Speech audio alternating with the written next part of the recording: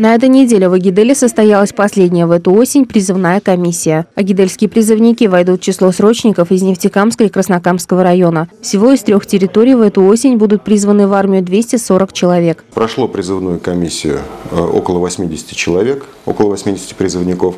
Из них уже на сегодняшний день готовы к призыву 10 человек. То есть мы их э, уже при получении наряда на отправку мы можем отправить войска. Еще около 30 человек у нас находится на дополнительном обследовании. То есть сейчас требования очень жесткие э, к призывникам. Поэтому, если какие-то болячки выявились на медицинской комиссии или еще что-то, кого-то отправляем на дополнительное обследование, кого-то отправляем на лечение. Среди агидельских призывников много тех, кто мечтает служить в армии, хотя и с волнением ждут этого момента. Для них это возможность исполнить детскую мечту и испытать свое мужество. К слову, есть те, кто с ранних лет готовился к важному моменту жизни.